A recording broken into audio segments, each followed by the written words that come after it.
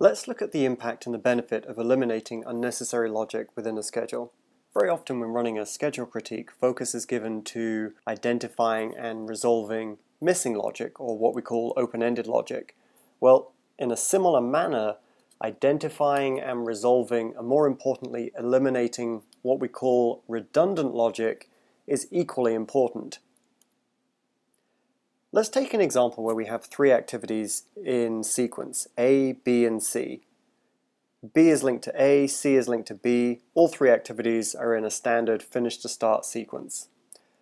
If we take an example whereby in addition to those two logic links joining the three activities together, there is actually a fourth link linking A to C, in reality that A to C link is actually redundant the reason why it's redundant is there is already driving logic going from A through B to C. So in reality, in our schedule, we can actually afford to remove that fourth link, that A to C link, and still uphold the integrity of our schedule. With the introduction of more collaborative scheduling tools, this whole issue of logic redundancy and overcomplexity and unnecessary logic is becoming more of a challenge. It makes schedules harder to understand, it makes them more complicated. It even has a, a, negative effect on the likes of risk analysis. So the ability to remove this redundancy is very, very useful. Fuse provides a means of not only identifying redundant logic through the Fuse Redundancy Index, but it also now provides a means of actually removing and cleansing your schedule.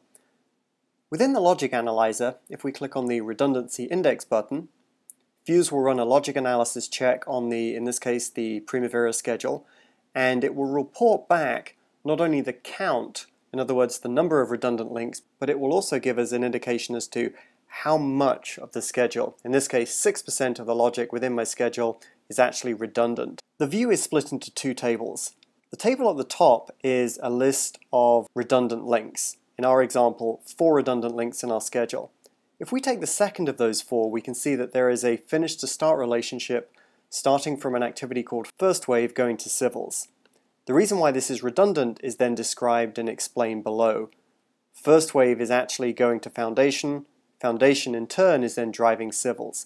Because of this driving logic identified in this bottom table, this redundant link, this first wave to civils link, can actually be removed from our schedule. Talking of removing the redundancy, Fuse also provides a really easy means of cleansing the schedule and removing the redundancy.